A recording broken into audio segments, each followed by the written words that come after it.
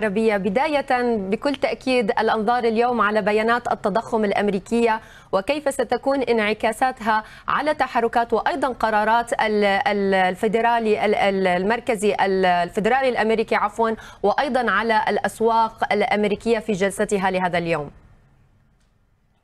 أهلا بك سالي واهلا رولا. آه نعم نشهد الآن تقلبات في أسواق الأسهم لكنها تزال آه لا تزال آه يعني متفائلة آه بأن التضخم أو بيانات التضخم ستأتي بالفعل بانخفاض آه 6.5% آه مقابل ال 7.1% التي شهدناها العام آه الماضي. ويعني يبدو أن الأسواق تسعر آه الارتفاعات بنسبة 25 نقطة أساس فقط. ولكن يعني في تباين من قبل ال Fed official members الذي يعني ما زال يعني يدعمون التشديد في السياسة النقدية ولكن الأسواق الأسهم الآن تنتظر بيانات التضخم التي من المتوقع أن تنخفض ونشهد انخفاض في هذه البيانات. وأيضا شهدنا أن البيان يعني بيانات أخرى مثل سوق العمل يعني بدأت في الانخفاض أيضا. فلذلك يعني ندعم أو نشهد أن البنك الاحتياطي الفدرالي سيخفض من وتيرة السياسة النقدية بسبب التباطؤ في البيانات الاقتصادية التي هي محور الأساسي لتشديد و السياسة النقدية. نعم. نادي بعكس اتجاه التضخم في عدد من الدول التي بدأت بالفعل باتخاذ أداة رفع أسعار الفائدة لمحاربته نجد التضخم في استراليا يسجل معاودة للارتفاع في القراءة الشهرية. فهل تعني هذه القراءة إمكانية ارتفاع الضغوط التضخمية والتحول في السياسة النقدية؟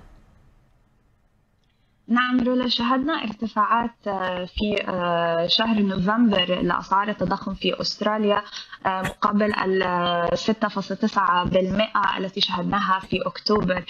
وذلك يعني مدعوما بأسعار يعني أسعار الوقود للطائرات.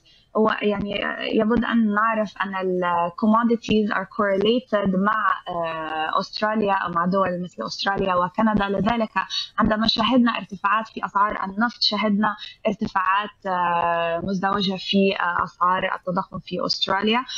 ولكن يعني ولكن عندنا أيضا مبيعات التجزئة for example التي جاءت بارتفاع عند 1.4% مقابل 0.4% يعني في العام الماضي وذلك سيكون أيضا محور أساسي في تجديد البنك الأسترالي لأسعار الفائدة.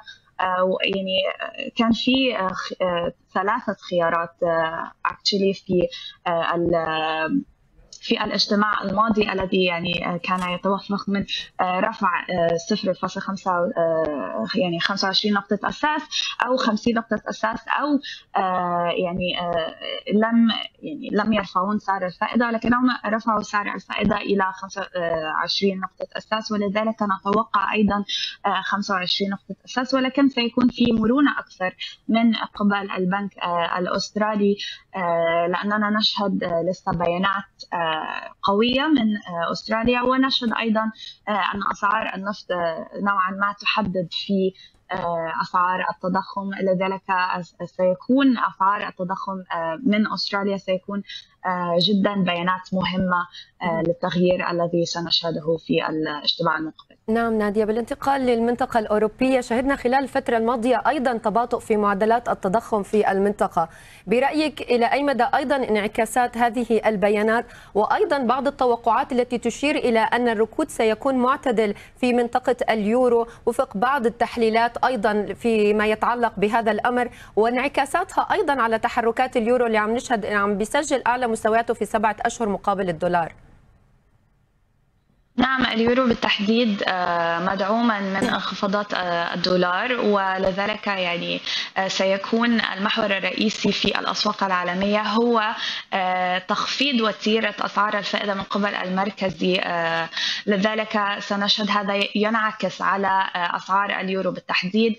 ونشهد اليورو الآن في ارتفاعات ومن المتوقع أن نشهد ارتفاعات أيضا خلال السنة يعني في هذه السنة 2023 ولذلك مدعوما من الضغوطات على الدولار. وأيضا بسبب أزمة الطاقة التي يعني نشهد تدخلات من ألمانيا ودول أوروبا الأخرى الذين يعني يساهمون في تعديل هذه يعني أسعار الطاقة. ولذلك نشهد هذا ينعكس جدا على اليورو. ولذلك نشهده في ارتفاعات. ومن الممكن أن نشهد ارتفاعات أكثر يعني إلى مدى 1.10 وال 1.15 شكرا جزيلا لك نادية البلاسي محلله الأسواق في إكويتي جروب.